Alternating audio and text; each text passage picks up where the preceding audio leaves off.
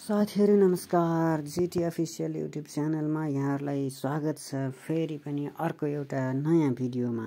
साथीहरू मैले बाचा गरे अनुसार यहाँहरूलाई भन्न गइरहेको थिएँ कि नयाँ प्रवेशी नयाँ लगानीकर्ता साथीहरूले के के कुरामा ध्यान पुर्याउनु पर्छ भनेर सो बारेमा आजको भिडियोमा चर्चा गर्न गइरहेको छु। साथीहरू सुरु गरौँ आजको भिडियो।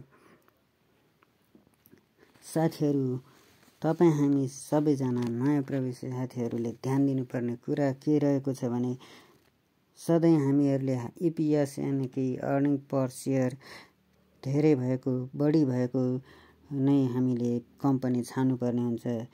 साथीहरू दोस्रो नम्बरमा पी कम भएको पी यानि कि सस्तो छ कि महँगो छ भन्ने कुरामा कुनै पनि स्टक अल टाइम हाई पनि हुनसक्छ अथवा महँगो भइरहेका पनि हुनसक्छन्। जबकि पिएसहरू बढी भए पनि महँगोमा पनि पर्न गएको हुनसक्छ। वर्षभरिको तुलनामा अत पी कम भएको पन्ध्रभन्दा मुनि भएको किन्नु यहाँहरूलाई म सजेसन गर्न चाहन्छु। त्यस्तै साथीहरू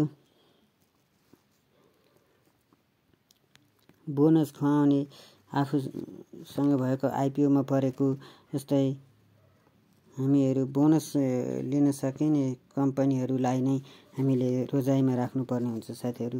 त्यस्तै बेच्नु पर्दा अर्को एउटा टिप्स दिन चाहन्छु साथीहरू जहिले पनि राइट सेयर बोनस सेयरहरू र लक इन पिरियड खुलेको बोनस सेयर लिस्टिङ भएको टाइममा चाहिँ हामीहरूले त्यो अगावै बेच्नुपर्ने हुन्छ अथवा त्यो किन्नु छ भने अथवा एभरेजिङ गर्नु छ भने चाहिँ हामीहरूले बोनस सेयरहरू लिस्टिङ भएको र लक इन पिरियड खुलेर घटेको बेलामा नै हामी किन्न सक्दछौँ।